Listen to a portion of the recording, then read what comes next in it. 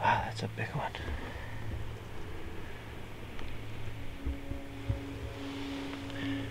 Fifty-two point five.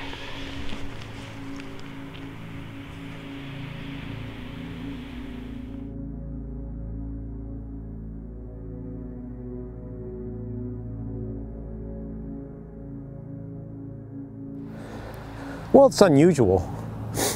Um, it's unusual. Uh, you know, murres, I guess, at least in Alaska, it's built into the life history strategy, obviously, because it's not un unheard of. These die-offs occur every once in a while.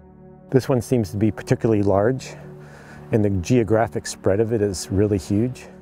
This doesn't look like winter out here. This is really unusual. This is our third winter out here in the last 10 years, and the two other times I've been out here, we've had snow to the water line, snow, a lot of ice in the bays, and we haven't had any of that this year. It's been really unique. In March of 2015, Alaska residents began discovering dead and dying seabirds washed up on beaches throughout the Gulf of Alaska. Most of the birds were common murres. Later that summer, several of the largest murre colonies in the Gulf failed to produce young. Biologists had never witnessed this in 30 years of monitoring the colonies. The following winter, another wave of die offs began, but this time the details were even more alarming. Nearly 8,000 murres were found dead along a one mile stretch of coastline near Whittier, Alaska. Meanwhile, residents of Homer, Kodiak, and Seward were finding hundreds of dead murres on their beaches. Dead and dying murres were even discovered in interior Alaska, hundreds of miles from the ocean. Limited seabird die-offs have occurred before in Alaska in the 1970s and 1990s. This event, however, was enormous, resulting in the deaths of hundreds of thousands of birds across a vast region of southern Alaska. To estimate the extent of the murre die-off in a region of the Gulf of Alaska, the National Park Service launched a coastal survey of Katmai National Park and Preserve in March of 2016. With biologists from the U.S. Fish and Wildlife Service and the U.S. Geological Survey, they searched for dead and dying seabirds on beaches between Cape Douglas and Amalik Bay in the Gulf of Alaska.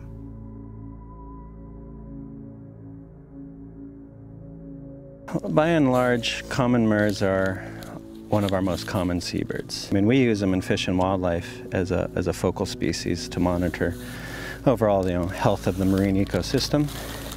And um, so we're really seeing, you know, I think it's fair to say 85 to 90% of birds being reported are common murres. Um, but there are other birds being reported as well, so. Here we are on a beach collecting data to determine the uh, kind of the magnitude, how many birds are being affected or have been affected, uh, as well as the overall um, geographic range. How broadly is this occurring? How, how widely are we seeing birds found on beaches? And then the duration. How long is this event going on for? So like in Prince William Sound, the big bulk of the die-off occurred in late December, um, early January, and it wouldn't surprise me if a lot of these died, you know, maybe the same time or shortly thereafter. So they're pretty old. And uh, obviously we're dealing, our challenge is because if you look at all these wolf tracks here, we've seen lots of wolf tracks, a lot of fox tracks, there's been a lot of eagle, so we're, we're competing with the the natural scavengers out here for carcasses and they're spreading them around, which makes our job a lot harder. Out in the sound where I was, we'd just find them, all these fresh dead murres just right up at the, at the rack line or just above it. So they were much easier to count than here. This is a lot more challenging. In all, 2,033 dead birds were counted during the one week survey at Katmai. Almost all of them were common murres researchers found an average of 102 dead birds for each kilometer of beach. Nine species of seabirds were identified among the carcasses. Biologists attribute this die-off largely to starvation, linked to unusually warm ocean temperatures over the last several years. A mass of warm water in the Pacific Ocean likely disrupted the marine food web from California to the Gulf of Alaska. Common murres feed on fish that thrive in cold water. These fish species were unavailable to the birds because of the warmer ocean temperatures.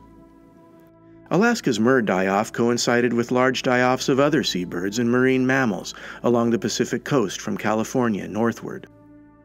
In October of 2016, hundreds of dead tufted puffins were found, washed ashore in the Bering Sea. These birds had also apparently starved to death during a period of record warm ocean temperatures. Biologists expect the seabird die-off to continue. The severity will depend in part on future weather and oceanographic conditions.